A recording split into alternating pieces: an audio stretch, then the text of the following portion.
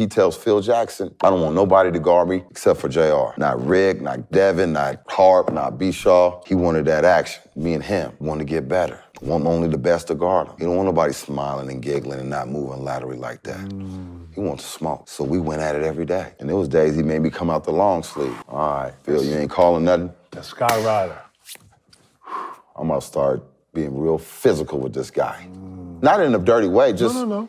Action. let's get it. Action. So we went at it, we went at it, we went at it, and, and I was like, yeah, oh, young boy, you know, he right. So it, you know, it registered. He wanted to measure and see where he was at. He probably wanted to let everybody know in the house, I'm the big dog still, Super competitive. super competitive. You know what I mean? And we went at it.